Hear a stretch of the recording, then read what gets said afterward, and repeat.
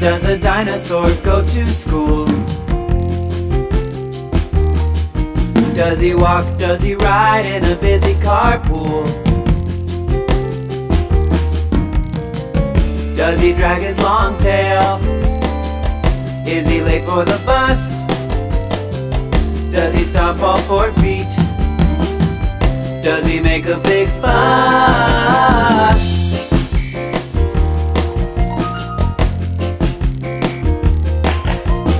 Gets to the school, does he roughhouse and punch? Does he make a quick grab for a classmate's packed lunch? Does he race up the stairs right ahead of the bell?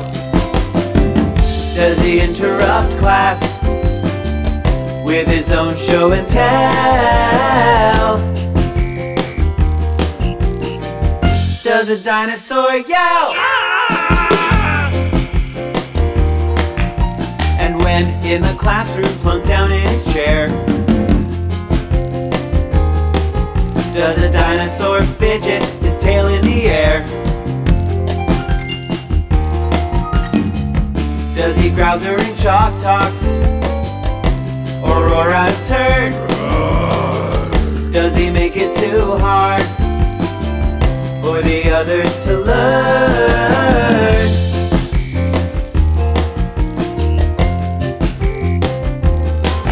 Does he stir up the classroom by making a noise? Does he tease all the girls? Does he pick on the boys? No.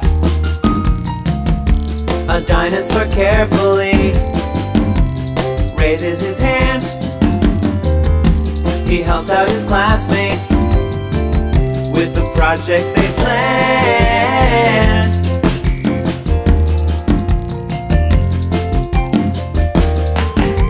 At recess, he plays with a number of friends. A number, a number, a number of friends. And growls at the bullies till bullying ends. Till bully, till bully, till bullying ends. He tidies his desk, then he leaps out the door.